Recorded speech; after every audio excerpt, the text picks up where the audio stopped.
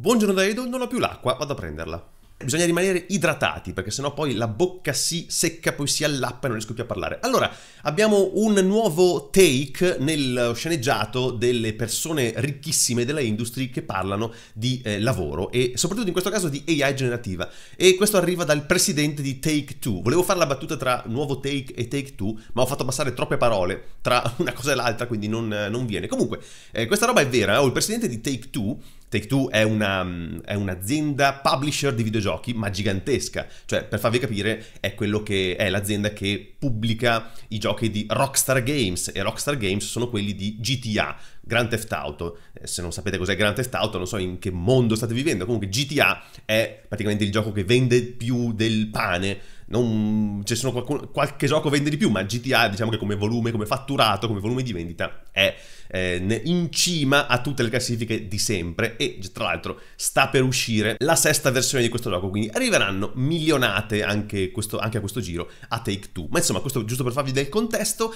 il presidente di Take-Two si chiama Strauss Zelnick e ha parlato di AI generativa. Ha detto che l'idea che l'AI generativa toglierà un sacco di posti di lavoro, eliminerà un sacco di posti di lavoro, è la cosa più stupida che abbia mai sentito. Dice che parla con molti eh, lavoratori nella San Francisco, nella Silicon Valley, ecco, molti lavoratori, ma anche molti C-level, che sono molto preoccupati dal fatto che appunto eh, l'AI generativa toglierà un sacco di posti di lavoro. Parentesi, eh, li sta già togliendo, no? abbiamo visto molti layoff in alcuni settori specifici di aziende che ah, dichiaratamente sono sostituiti da IA, ma va bene. Il punto delle dichiarazioni di eh, Zelnick è che nella storia delle evoluzioni software, hardware, n- nell'industria, ecco, tutte le volte che abbiamo introdotto qualcosa di automatizzato, che abbiamo sostituito lavori in precedenza fatti da persone, queste persone poi eh, hanno semplicemente eh, cambiato lavoro, cambiato mansione e anzi si sono innalzate in posti di lavoro più eh, intellettualmente stimolanti e più adatti alle proprie capacità. Ha fatto l'esempio di call center indiani utilizzati per rispondere alle chat automatiche sui siti che ora sono invece rimpiazzati da AI, ecco dicendo che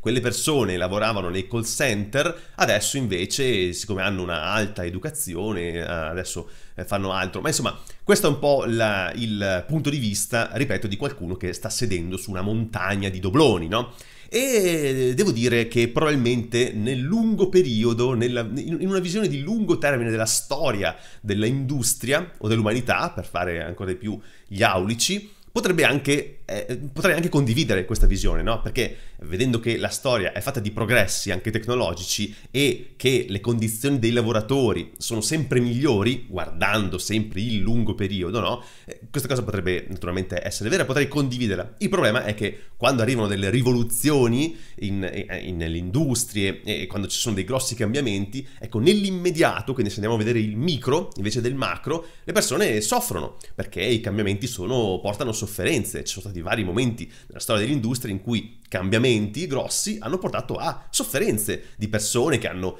perso il lavoro, non sono riuscite a ritrovarlo, grosse crisi sociali dovute a questo tipo di cambiamenti. Quindi, eh, senza voler sminuire la visione di un uomo che sicuramente ha una migliore conoscenza del mercato rispetto a me, ecco, io direi siamo d'accordo che nel lungo periodo queste cose sono positive e porteranno a un innalzamento della qualità di molti lavori e quindi della necessità di trovare persone più qualificate per svolgere altri tipi di lavori, perché quelli magari meno qualificati saranno sostituiti da una IA, però dobbiamo constatare che nel micro, nel breve periodo, questi cambiamenti portano ad alcune persone, a molte persone, come stiamo vedendo, della sofferenza, della necessità di adattarsi a qualcosa che eh, è difficile da ricevere. Perché facciamo presto a dire chi non sa adattarsi poi rimarrà indietro, quindi bisogna essere in grado di sì, ma l'adattarsi spesso è dovuto anche a questioni di contesto che non dipendono da noi. Eh, in certe situazioni ci sono delle persone che non possono semplicemente eh, cambiare la vita intorno a loro, la loro eh, occupazione, la loro città, dove vivono, con chi vivono, cosa fanno.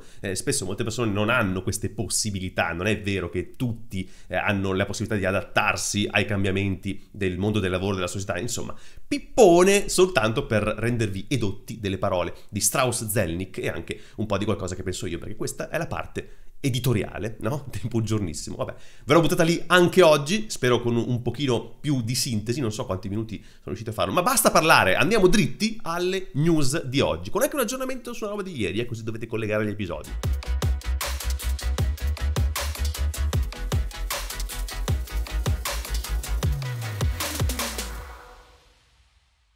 Da qualche giorno c'è una notizia che sta facendo molto parlare online e che riguarda Google, quindi andiamo a vedere che è successo, lo faccio grazie a D-Day. Dice questo articolo, sono emersi 2500 documenti interni di Google che mostrano il funzionamento del suo motore di ricerca. Ed è vero, peraltro eh, sono emersi perché sono stati accidentalmente pubblicati su GitHub, a quanto pare, per qualcuno prima che venissero riarchiviati è riuscito a prenderli e poi li ha fatti trapelare. Insomma, questo è un po' il retroscena. Comunque, in questi documenti vengono descritti alcuni dei parametri che la ricerca di Google utilizza per incrementare o no la visibilità di un contenuto, quindi di una pagina web, di un sito. Alcuni di questi parametri sono in contrasto con ciò che Google aveva detto in precedenza, quindi stiamo vedendo un po' il funzionamento interno di Google Search, almeno una parte, eh, perché questi documenti poi in realtà sono le API reference, quindi la documentazione tecnica delle API. Soprattutto Google ha poi confermato che quei documenti sono veri. Questa è una dichiarazione, una nota di Google. Vorremmo mettere in guardia dal fare supposizioni imprecise sulla ricerca basate su informazioni decontestualizzate, obsolete o incomplete. Qui Google naturalmente sta dicendo non vi diciamo questa API a quando risale, quindi a che versione risale, e non vi diciamo qual è la versione invece attualmente in produzione, quindi non sapete quali sono le differenze tra la versione che state leggendo e quella che è attualmente in produzione, quindi eh, potrebbe essere totalmente diversa, potrebbe essere la stessa, eccetera. Proseguo con l'articolo. Il contenuto dei documenti è stato riportato da Rand Fishkin, che per anni ha lavorato nell'ambito della ottimizzazione dei risultati su Google, che li ha ricevuti da una fonte anonima. Questa fonte ha poi deciso di uscire allo scoperto è Erfan Azimi, fondatore di EA Eagle Digital, che è una società specializzata nel migliorare il posizionamento della ricerca eh, di Google dei contenuti online. In nessun caso, riporta l'articolo in grassetto, in nessun caso è possibile sapere se quanto riferiscono i documenti sia ancora valido o che modifiche siano state eventualmente implementate. Vabbè, quello che dicevo prima. Fra i parametri che Google sembra considerare ci sono per esempio i dati che riguardano il browser, il browser Chrome nonostante la società in precedenza abbia negato di usare i dati di Chrome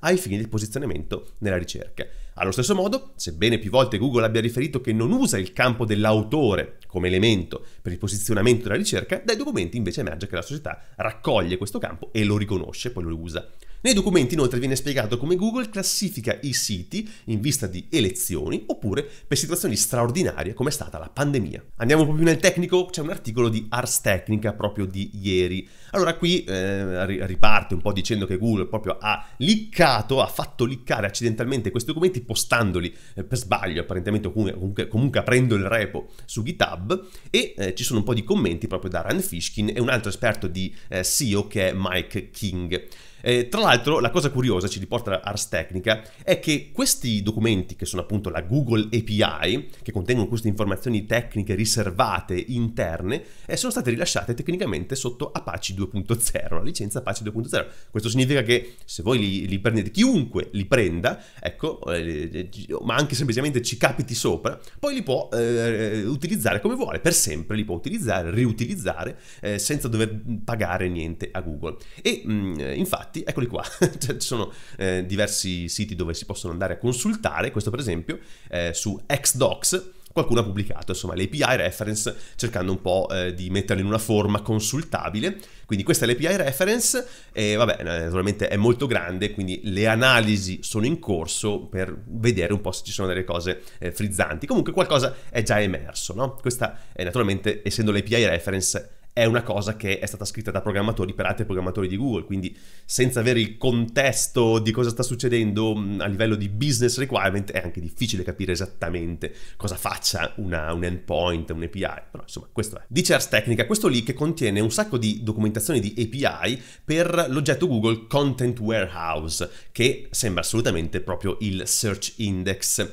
King, quell'esperto di SEO, scrive che ci sono 2596 moduli rappresentati in questa documentazione API con 14.014 attributes. Ora, sono numeri che ci dicono insomma, semplicemente che l'API è molto grande. Poi entrambi, Fishkin e King, accusano Google di aver mentito agli esperti di SEO e alla, alla industry nel passato. Perché una delle rivelazioni, per esempio nei documenti, è che i click, quindi il rate di click su una pagina, su un documento, in realtà è pesato, è considerato nel risultato, nel calcolare il posizionamento della pagina sulla ricerca e questa roba Google l'ha sempre negata in passato. E questo sistema che traccia i link e porta in su un risultato è chiamato NavBoost. Oltre poi al fatto che i documenti suggeriscono che Google abbia una whitelist che va a boostare eh, certi siti web in particolari occasioni, l'abbiamo anche detto prima, come eh, il fatto delle elezioni e delle, pand- delle, pandemie, ecco ci sono degli attributi come is election authority e is covid local authority. Tra l'altro i siti hanno anche un attributo site authority che li fa innalzare, insomma li fa innalzare nel rank per autori insomma che sono considerati molto validi. Eh, gli autori stessi hanno il loro ranking, ma naturalmente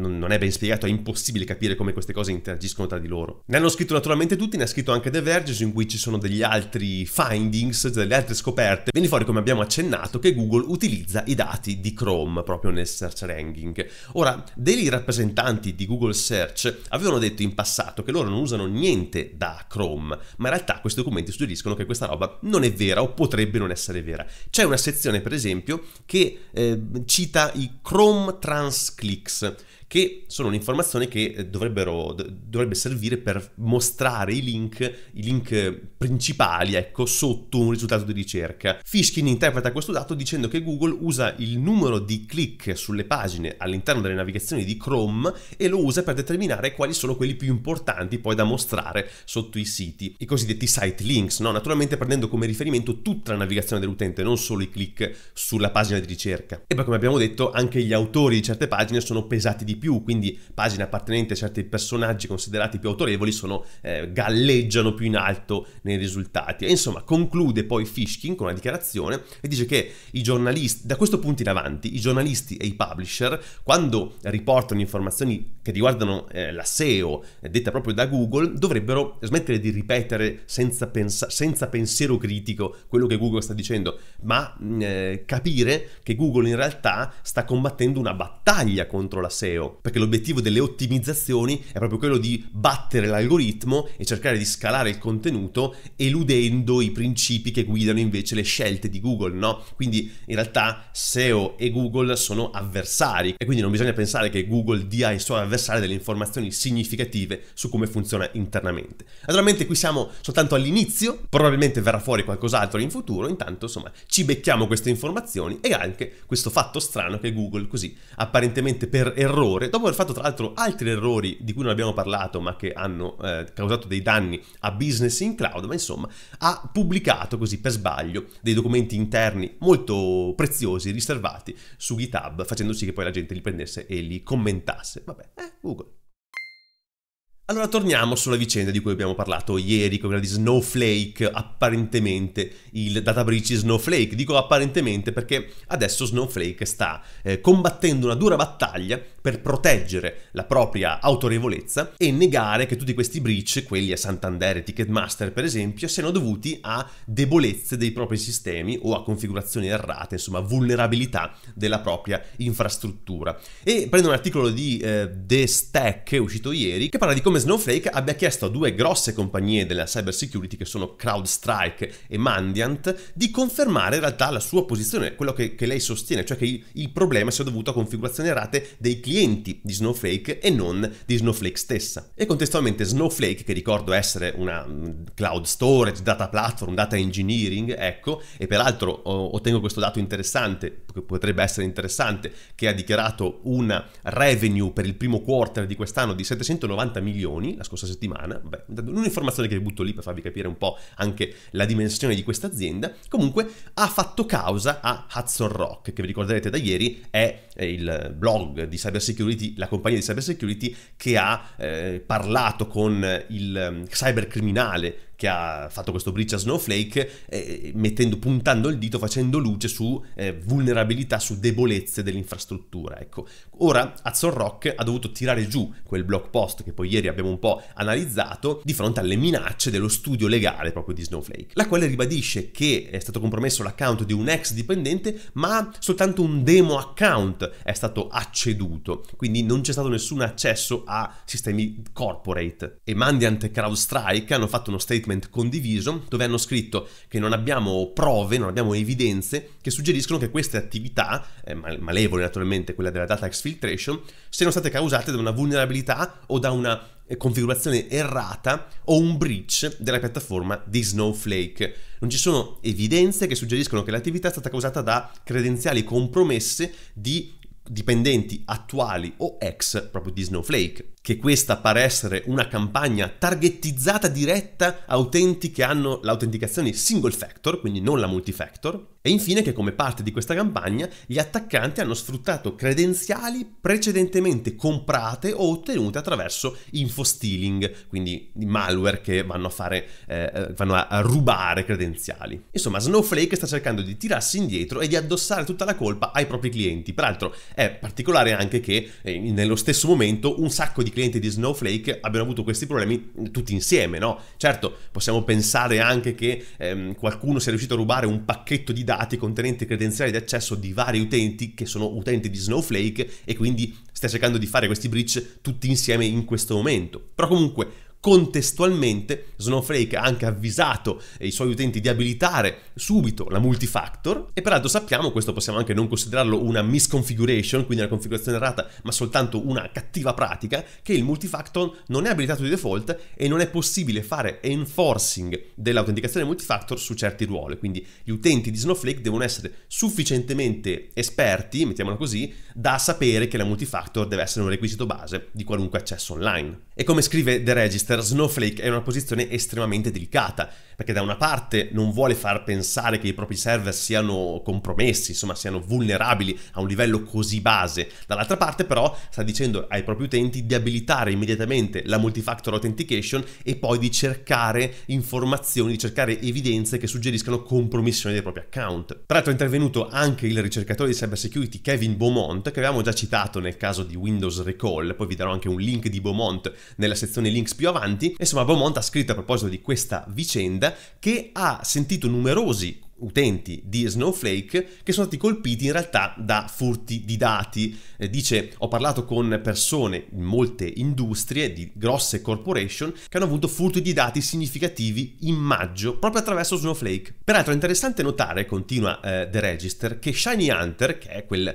criminale che ha messo in vendita i dati sul eh, dark web, ha detto a databreaches.net che il report di Hudson Rock era incorretto, era non corretto, perché ho tradotto incorretto incorrect era scorretto. Shiny Hunter ha detto che la parte che riguardava ServiceNow, di cui avevamo parlato, è totalmente inventata, se l'ha inventata qualcuno di Hudson Rock, però dice che è vero che abbiamo chiesto a Snowflake di mandarci 20 milioni di dollari, quindi riferendosi proprio all'estorsione fatta a Snowflake. Quindi quello che sappiamo finora è che ci sono un po' di clienti di Snowflake che sono sotto attacco, che sono quantomeno bersaglio di possibili attacchi attraverso phishing oppure dati eh, rubati o comperati, insomma credenziali di accesso comprati e quindi assicurarsi che eh, tutti questi accessi siano protetti, ecco, quantomeno dalla multifactor authentication, è la priorità, dovrebbe essere la priorità sia di Snowflake che di tutti i loro clienti. E come suggerisce anche eh, proprio Kevin Beaumont, nei prossimi mesi vedremo probabilmente altri utenti di Snowflake con i loro dati in giro per il dark web. Chiudo con altre parole scritte proprio da Kevin Beaumont, dice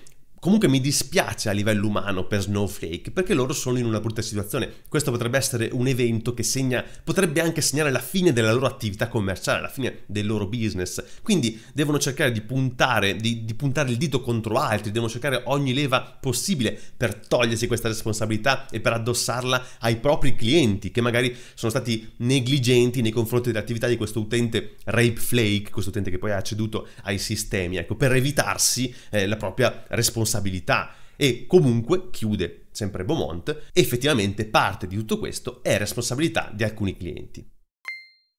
Allora, i due link di oggi. Il primo è Hotwire, HTML over the wire, eh, con questa GIF che ricorda un po' gli anni 90, scrollo giù se non mi viene l'epilessia. E Hotwire è un approccio scritto da quelli di uh, eh, 37 Signals, cioè quelli di uh, Basecamp, Hey, insomma DHH, e che hanno scritto questo, questo articolo con una serie di tool che comprendono Turbo, Stimulus, Strada che eh, in pratica eh, eh, concorrono a questo approccio del inviare da server a client eh, HTML, insomma HTML, pezzi di HTML, non JSON che poi deve essere interpretato e renderizzato, ma HTML già renderizzato, che è un approccio, se vi ricordate ne avevamo parlato anche quando abbiamo eh, visto HTMX, ecco un po' lo stesso approccio, no? quando devi andare a eh, aggiornare un pezzo della pagina, il server ti manda direttamente l'HTML, il pezzetto di HTML, eh, che poi puoi ottimizzare magari facendotelo mandare via stream, utilizzando i socket, insomma è una serie di ottimizzazioni che puoi fare e questo approccio è utilizzato proprio anche da Hotwire, questo, questo, mm, questo sito che trovate su hotwire.dev di cui vi lascio il link ed è ecco, eh,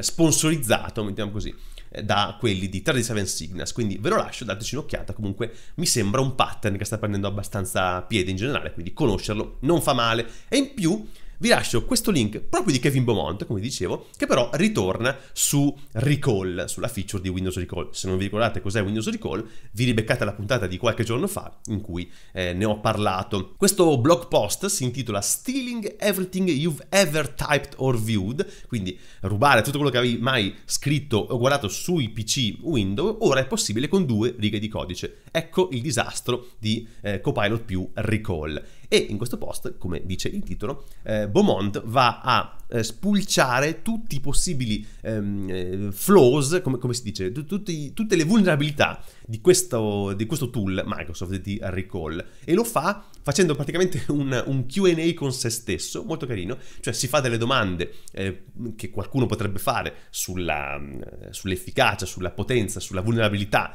di questa feature e si dà delle risposte che quindi ci fanno capire quanto possa essere effettivamente pericoloso questo approccio e quanta è la responsabilità di Microsoft nell'aver creato eh, questo approccio e nell'averlo reso attivo di default su tutti i futuri eh, PC Copilot Plus. È secondo me molto interessante per capire ancora meglio come funziona Recall, ma soprattutto quali sono i danni potenziali che questa roba potrebbe causare a tutti quelli che installeranno i futuri Windows sui PC Copilot Plus e non sapendo che lo possono disabilitare, se lo troveranno eh, abilitato di default, magari senza mai usarlo, esponendo quindi un sacco di eh, dati dannosissimi ai eh, criminali che avranno l'accesso al loro PC. Insomma, vi consiglio di leggerlo, vi lascio il link nella descrizione di questo episodio. Ho finito qui, grazie per avermi seguito anche oggi, peraltro inizia ad esserci abbastanza caldo, eh, quindi le ascelle sono già in sofferenza, domani dovrebbe esserci buongiornissimo ma non ne sono sicuro, perché poi devo finire di preparare un talk, verso l'ora di pranzo avrò un talk online sulla cyber security a un evento che si chiama Developer Week Europe, ma insomma è online su registrazione, quindi fa lo stesso, eh, se non ci vediamo, e poi eh, devo finire di preparare anche il talk per sabato, insomma una settimana impegnativa, però magari ci vediamo, magari ci vedremo anche in altri momenti, sempre sul mio canale YouTube, quindi seguitelo proprio al di là del podcast. Grazie di nuovo, alla prossima, ciao!